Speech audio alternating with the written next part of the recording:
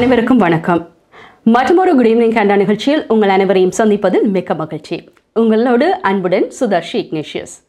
இன்றைய நாள் நவம்பர் மாதம் இருபத்தி ஏழாம் திகதி ட்ரோனோவின் தற்போதைய வெப்பநிலை ஆறு பாகை செல்சியஸ் இந்த வாரம் முழுவதுமே தமிழ் மக்களுக்கு ஒரு முக்கியமான வாரம். இந்த நாளை முன்னிட்டு வளமையான அம்சங்கள் எல்லாம் இந்த மணி நேரத்தில் இடம்பெறாது. செய்திகள் மட்டும் இடம்பெறும். இந்த நிகழ்ச்சியை ஆரம்பித்து வைக்க தாயக பாடலோடு உங்களை சந்திக்க இருக்கின்றோம். இந்த பாடலை பாடுகின்றார் பாடகர் இசைக்கலைஞர் கமலக்கண்ணன் பாடலுக்கு இசை ஃபயாஸ். காற்றும் ஒரு கணம் வீச மறந்தது. கடலும் அமைதியாய் கிடந்தது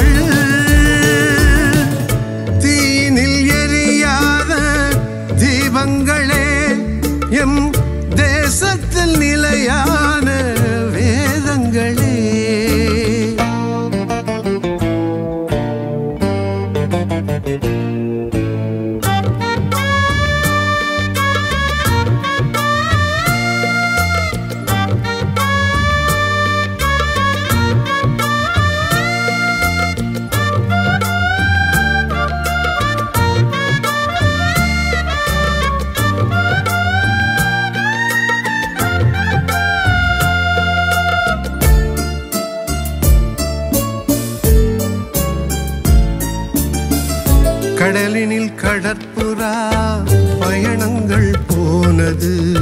சிறிலங்கா ராணுவம் குறிவைக்கலானது கடலினில் கடற்புறா பயணங்கள் போனது. சிறிலங்கா ராணுவம் குறிவைக்கலானது குமரப்பா புலேந்திரன் உடன் பத்து வேங்கைகள். கொள்கையின் படி நஞ்சை பின் சாய்ந்தன குமரப்பா புலந்திரன். உடன் பத்து வேங்கைகள் கொள்கையின் படி நஞ்சை குடித்தபின் சாய்ந்தன இளமையில் சருகாகி போனவரே எம் இதயத்தில் உருவான கோவில்களே நெஞ்சினில் நெருப்பேந்தி வாருங்கள். நிச்சயம் வெல்லும் என்று கூறுங்கள். தீனில் எரியாத தீபங்களே எம் தேசத்தில் நிலையான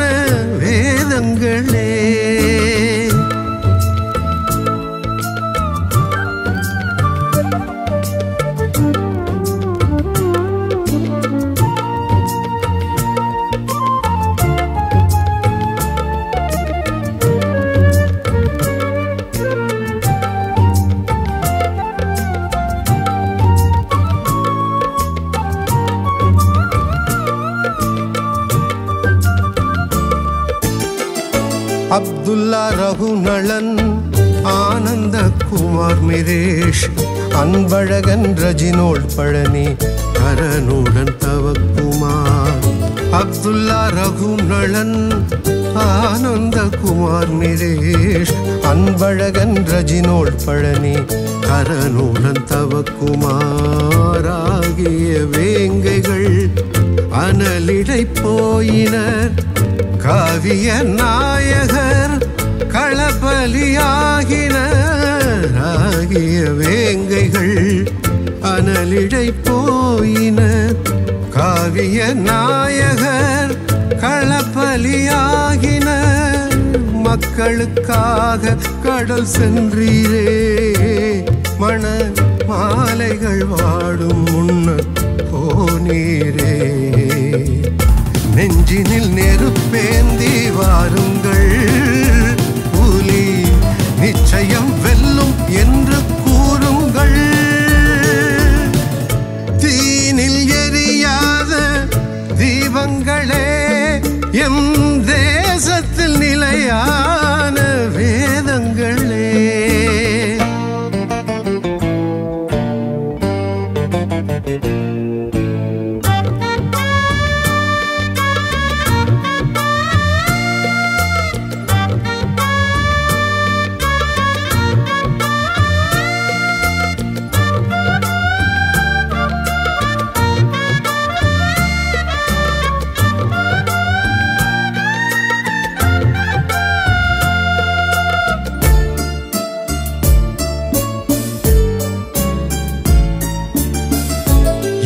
கடலின் கடலிலே எவன் எம்மை பிடித்தது?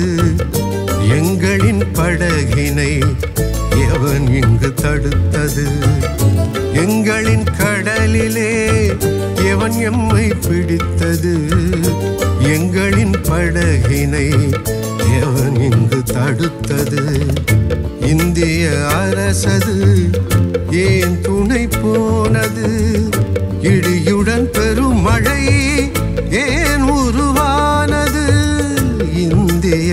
அரசது ஏன் துணை போனது? இடியுடன் பெரும் மழை ஏன் உருவானது? கண்களில் நீர் சுமந்து நிற்கின்றோ? நீர் காட்டிய பாதையிலே செல்கின்றோ? நெஞ்சினில் நெருப்பேந்தி வாருங்கள். புலி நிச்சயம்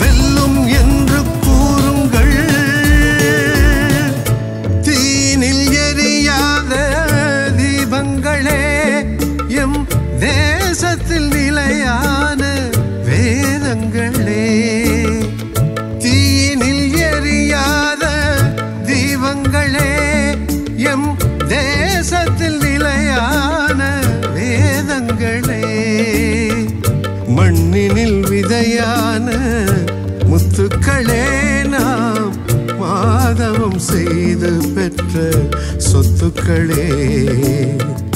நெஞ்சினில் நெருப்பேந்தி வாருங்கள் புலி நிச்சயம் வெல்லும் என்று கூறுங்கள்.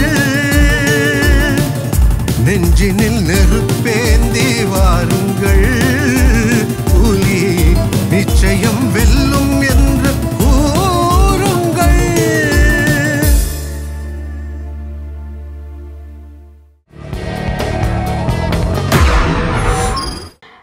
கேனா நிகழ்ச்சியோடு இணைந்திருக்கின்றீர்கள். நாங்கள் அடுத்ததாக நாணய மாற்று வீதம் பார்க்க போகின்றோம். அதற்கு முன்பு இன்றைய நாளுக்கான கோவிட் தொற்றுக்களின் எண்ணிக்கை என்னென்று பார்க்கலாம். குறிப்பாக இந்த தொற்றுக்கள் அதிகரித்து கொண்டு வருகின்ற நிலையில் இருக்கின்றது. ஆண்டாரியோ ஆன்டாரியோ மாகாணத்தில் வழமைக்கு மாறாக இன்று மிக அதிக அளவில் இந்த தொற்றுக்கள் பதிவாகியுள்ளன.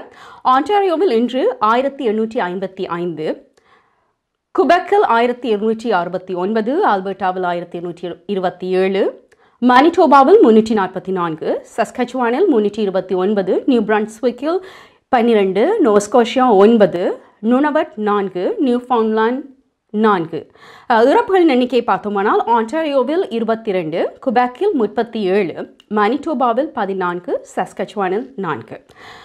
நிச்சயமாக இந்த நிலைமை இன்னும் அதிகரித்து கொண்டு வருகின்றது. எனவே பாதுகாப்பாக இருங்கள். உங்களையும் உங்கள் அன்பானவர்களையும் பாதுகாப்பாக வைத்துக் கொள்ளுங்கள்.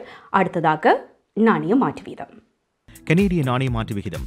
இலங்கை நூற்றி நாற்பத்தி ஏழு தசம் ஏழு ஐந்து இலங்கை ரூபா இந்தியா ஐம்பத்தி ஆறு தசம் ஏழு ஐந்து இந்திய ரூபா அமெரிக்கா பூஜ்ஜியம் தசம் ஏழு ஏழு அமெரிக்க டாலர் ஐரோப்பா பூஜ்ஜியம் தசம் ஆறு நான்கு ஈரோ சுவிட்சர்லாந்து பூஜ்ஜியம் தசம் ஏழு பூஜ்ஜியம் சுவிஸ் பிராங்க் பிரித்தானியா பூஜ்ஜியம் தசம் ஐந்து எட்டு பிரித்தானிய பவுண்ட்ஸ் ஆஸ்திரேலியா ஒன்று தசம் பூஜ்ஜியம் நான்கு ஆஸ்திரேலிய டாலர் சிங்கப்பூர் ஒன்று தசம் பூஜ்ஜியம் மூன்று சிங்கப்பூர் டாலர். குட் ஈவினிங் கேண்டாவோடு இணைந்திருக்கின்றீர்கள். அடுத்ததாக பிரதான சில பகுதிகளில் நிலவுகின்ற காலநிலையை இப்போது பார்க்கலாம். நவம்பர் மாதம் இருபத்தி எட்டாம் தேதி சனிக்கிழமை நிலவும் காலநிலை. டொரண்டோவில் அதிகூடிய வெப்பநிலை ஐந்து பாகை செல்சியஸ் அதிகுறைந்த வெப்பநிலை பூஜ்ஜியம் பாகை செல்சியஸ். நாளை நாள் சூரிய ஒளி மற்றும் முகில் கூட்டம் நிறைந்த நாளாக இருக்கும். மழை மற்றும் பனிப்பொழிவுக்கான சாத்தியக்கூறுகள் தென்படுகின்றன. ஒட்டோவாவில் அதிகூடிய வெப்பநிலை நான்கு பாகை செல்சியஸ் அதி குறைந்த வெப்பநிலை பூஜ்ஜியத்து கீழே இரண்டு பாகை செல்சியஸ். நாளைய நாள் சூரிய ஒளி மற்றும் முகில் கூட்டம் நிறைந்த நாளாக இருக்கும். மழை மற்றும் பனிப்பொழிவுக்கான சாத்தியக்கூறுகள் தென்படுகின்றன. மான்ட்ரியலில் அதிகூடிய வெப்பநிலை ஐந்து பாகை செல்சியஸ் அதி குறைந்த வெப்பநிலை இரண்டு பாகை செல்சியஸ். நாளைய நாள் சூரிய ஒளி மற்றும் முகில் கூட்டம் நிறைந்த நாளாக இருக்கும். மழைக்கான சாத்தியக்கூறுகள் தென்படுகின்றன. கல்கரியில் அதிகூடிய வெப்பநிலை பூஜ்ஜியத்து கீழே ஒரு பாகை செல்சியஸ் அதி குறைந்த வெப்பநிலை பூஜ்ஜியத்து கீழே ஏழு பாகை செல்சியஸ். நாளைய நாள் சூரிய ஒளி பிரகாசமாக இருக்கும். வான்கூவரில் அதிகூடிய வெப்பநிலை ஒன்பது பாகை செல்சியஸ் அதிகுறைந்த வெப்பநிலை மூன்று பாகை செல்சியஸ் நாளைய நாள் சூரிய ஒளி மற்றும் முகில் கூட்டம் நிறைந்த நாளாக இருக்கும். நவம்பர் மாதம் இருபத்தி எட்டாம் தேதி சனிக்கிழமை நிலவும் காலநிலை. சத்திய தீயில் தம்மை அழித்து சரித்திரமாகியவர்களை நினைவுகூறும் நாட்களே மாவீரர் நாட்களாகும்.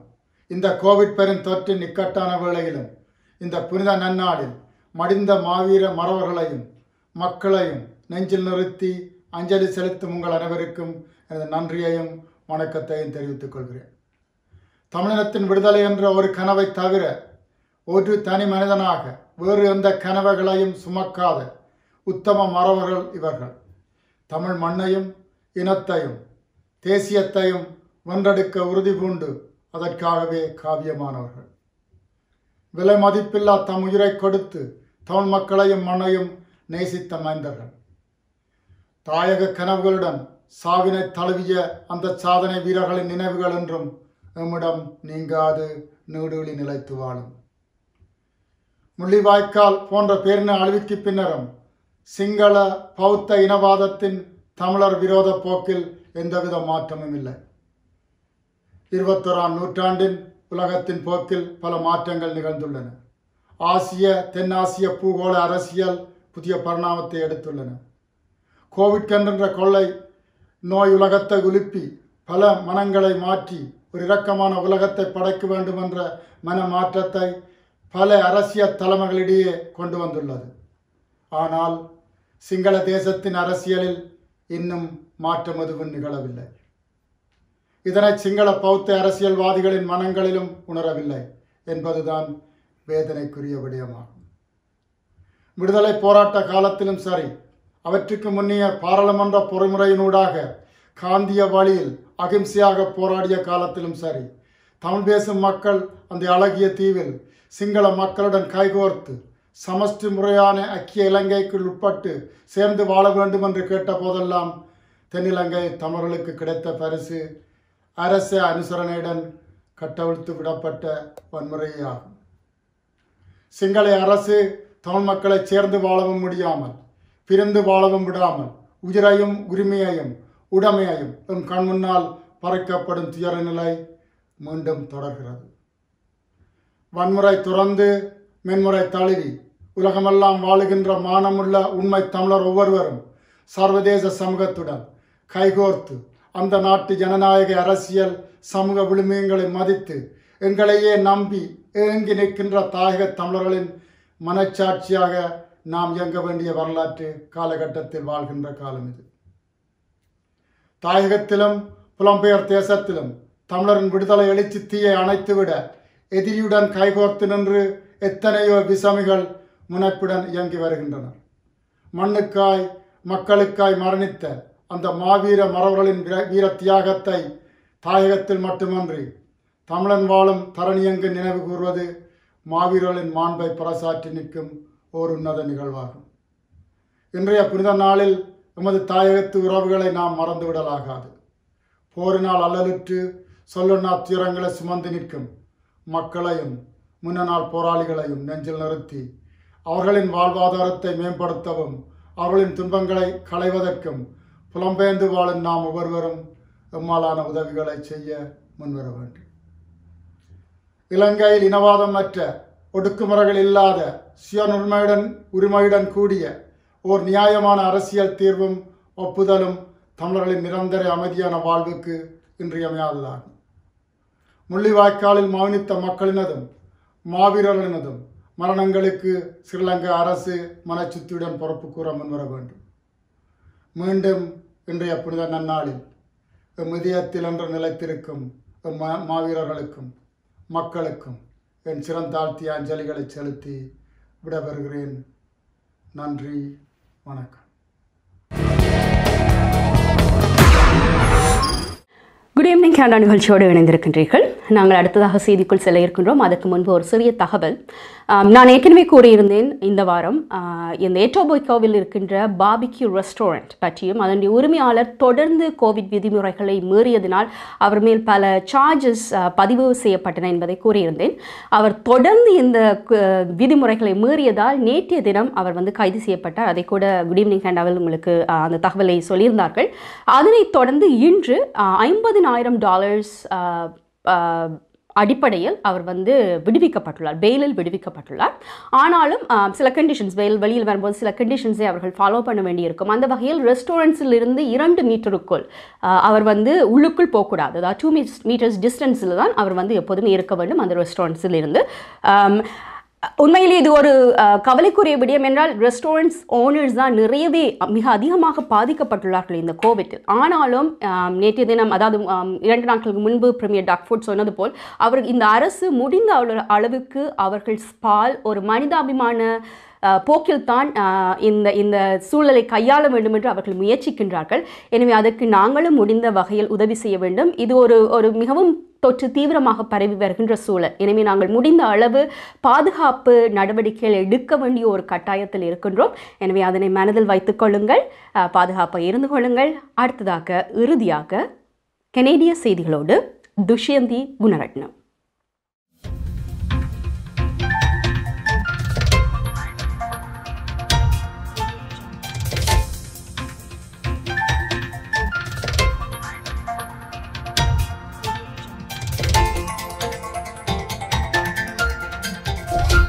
வணக்கம்.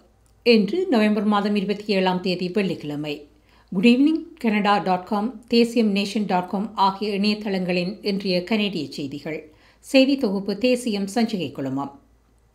கனடாவின் கோவிட் தொற்று நோய் தடுப்பூசி வழங்கும் திட்டத்துக்கு முன்னாள் நேட்டோ தளபதி மேஜர் ஜெனரல் டேனி ஃபோர்டன் நியமிக்கப்பட்டுள்ளார். கனேடிய பிரதமர் ஜஸ்டின் ட்ரூடோ இன்று இந்த நியமனத்தை அறிவித்தார். அடுத்த வருடம் செப்டம்பர் மாதத்துக்குள் கனேடியர்களில் பாதிக்கும் மேற்பட்டவர்களுக்கு நோய் தடுப்பூசி வழங்கும் தனது இலக்கையும் என்று பிரதமர் ட்ரூடோ அறிவித்தார். இந்த குறிப்பிடத்தக்க சாதகமான செய்தி கனடாவின் தேசிய சுகாதார நிபுணர்களிடம் இருந்து நேராக வழங்கப்பட்ட தகவலில் இருந்து வெளியிடப்படுவதாகவும் பிரதமர் கூறினார்.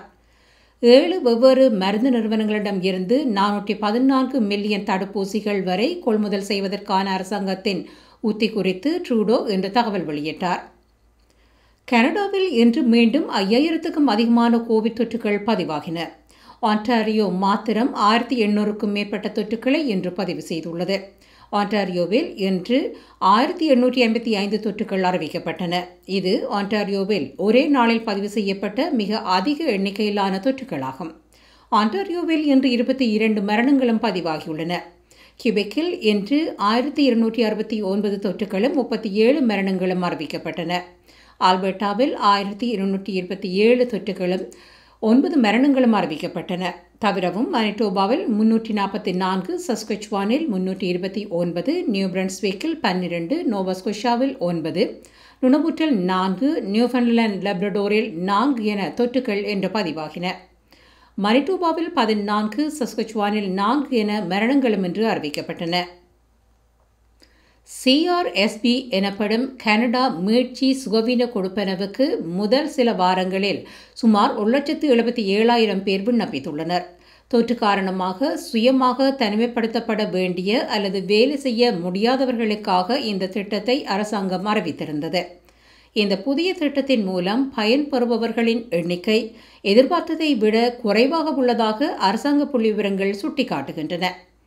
அக்டோபர் மாதம் ஐந்தாம் தேதி ஆரம்பமான இந்த திட்டத்துக்கு நவம்பர் மாதம் இருபத்தி இரண்டாம் தேதி வரை ஒரு லட்சத்தி எழுபத்தி ஏழாயிரம் பேர் சார்பாக இரண்டு லட்சத்து தொண்ணூற்றி ஐயாயிரம் விண்ணப்பங்கள் தாக்கல் செய்யப்பட்டுள்ளன.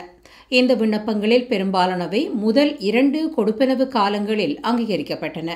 அதன் பின்னரான ஒவ்வொரு கொடுப்பனவு காலத்துக்கும் பின்னர் விண்ணப்பங்களின் எண்ணிக்கை குறைந்து வருவதாக தெரிவிக்கப்படுகிறது.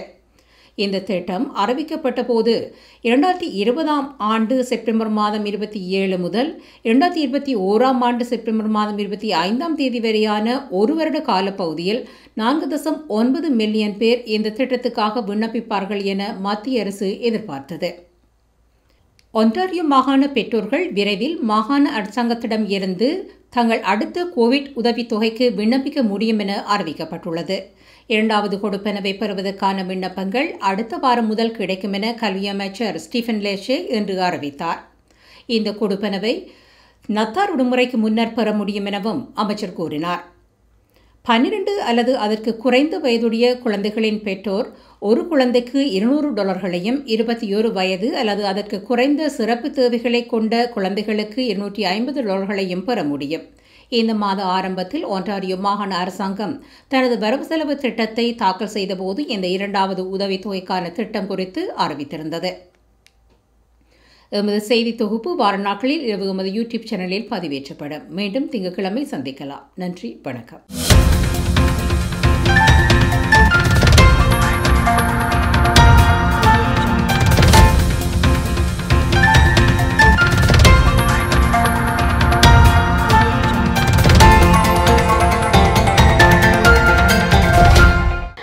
குட் ஈவினிங் கேண்டா நிகழ்ச்சியில் இதுவரையில் இணைந்திருந்தீர்கள். இன்றைய நிகழ்ச்சி வளமையான நிகழ்ச்சி அல்லாது செய்திகளை மட்டும் உங்களுக்கு நாங்கள் வழங்கியிருந்தோம்.